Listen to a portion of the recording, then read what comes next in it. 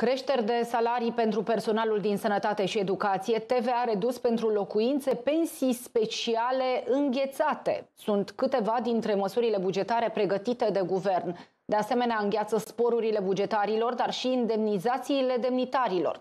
Ne spune mai multe despre așa numita ordonanță trenuleț, colega mea Irina Codreanu. Irina, ești în direct. Bună dimineața!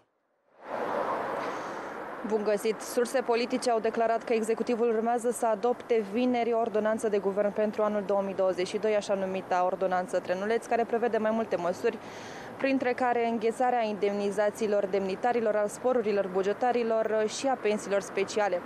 Așadar, se cunoaște faptul că nu vor crește taxele și impozitele locale, se îngheață într-adevăr pensiile speciale și indemnizațiile uh, demnitarilor. În schimb, pensiile speciale pentru primari se prorogă cu încă un an. În sistemul bugetar știm că se îngheață toate sporurile, iar orele suplimentare vor fi compensate cu zile libere.